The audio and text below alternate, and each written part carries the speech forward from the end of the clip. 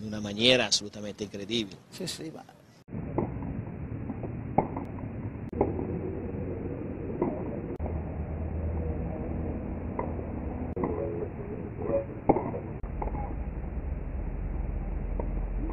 Watching a surgeon out there this first set. That Federer is just probing Juan Carlos Ferrero. Let me try a couple. sl- to have a little bit of a look of a, a Federer clinic. In the beginning, he wasn't in the groove, and he was getting some points on the serve. in the shorter ball.